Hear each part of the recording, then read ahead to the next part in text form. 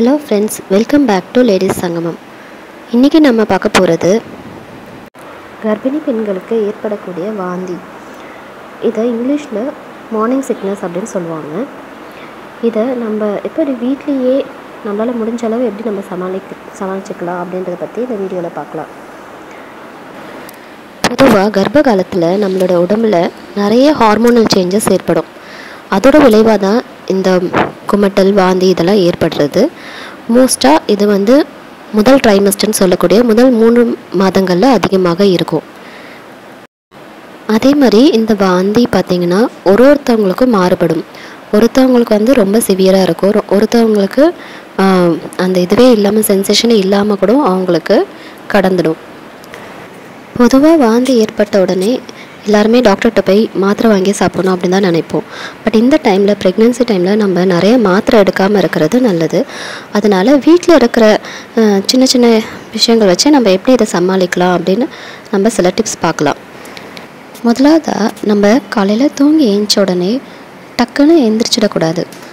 கொஞ்ச நேரம் அப்படியே அமைதியாக உட்காந்துருக்கலாம் அப்புறமா பொறுமையாக ஏஞ்சு நீங்கள் ஏதாவது ஒரு பூ பிஸ்கெட் அதாவது கிராக்கர்ஸ்ன்னு சொல்லக்கூடிய பிஸ்கெட் சாப்பிட்லாம். ப்ரஷ் பண்ணுறதுக்கு முன்னாடி இதை சாப்பிட்டோன்னா கொஞ்சம் அந்த வாமிட்டிங் வர சென்சேஷன் வந்து கம்மியாக இருக்கும். நம்ம ப்ரஷ் பண்ண உடனே நம்மளுக்கு அந்த வாமிட்டிங் சென்சேஷன் அதிகமாக இருக்கும். ஸோ அதனால் அதுக்கு முன்னாடியே நம்ம இந்த மாதிரி ஏதாவது ட்ரையாக சாப்பிட்டோன்னா கொஞ்சம் அது இதுவாக இருக்கும் அதுக்கப்புறம் ப்ரஷ் பண்ணிவிட்டு நம்ம ஆஸ் யூஷுவல் மற்ற ஃபுட்ஸை எடுத்துக்கலாம். ரெண்டாவது பார்த்திங்கன்னா நம்ம சாப்பிடும் போது அதிக அளவில் சாப்பிடாம கொஞ்சம் கொஞ்சமாக அதிக கேப் விட்டு சாப்பிட்றது டைஜஷனுக்கு ஹெல்ப் பண்ணும். அதே சமயம் நம்மளுக்கு ஃபுட்டு வந்து செரிச்சிடுச்சுன்னா வயிற்றுலேருந்து திரும்பியும் வாமிட்டிங் சென்சேஷன் இருந்தால் கூட அது வாமிட்டாக வராது. அப்புறம் ஆல்பகுடா பழம் அப்படின்னு சொல்லக்கூடிய பழம் வந்து நம்ம எடுத்துக்கலாம். இது வாமிட்டிங்க்கு ரொம்பவே ஹெல்ப் பண்ணும். ரொம்ப எக்ஸ்ட்ரீமாக இருக்கும் போது நம்ம இந்த பழத்தை வாயில் வச்சுட்டு கொஞ்ச நேரம் அப்படியே வாயில் வச்சுட்டே இருந்தோன்னா அந்த இதுக்கே வந்து புளிப்புக்கே வந்து அந்த சென்சேஷன் கொஞ்சம் கொஞ்சமாக அடங்கிடும். அப்புறம் இது இல்லாமல் நம்ம வந்து லெமன் கூட எடுத்துக்கலாம். லெமன் வந்து ஒரு லெமன் கையிலே வச்சுருந்தோன்னா அந்த வாசனை நம்ம எடு ஸ்மெல் பண்ணிகிட்டே இருக்கும் போது நம்மளுக்கு அந்த வாந்தி வர இது இருக்காது. இல்லை லெமன் ஜூஸாக கூட குடிக்கலாம்.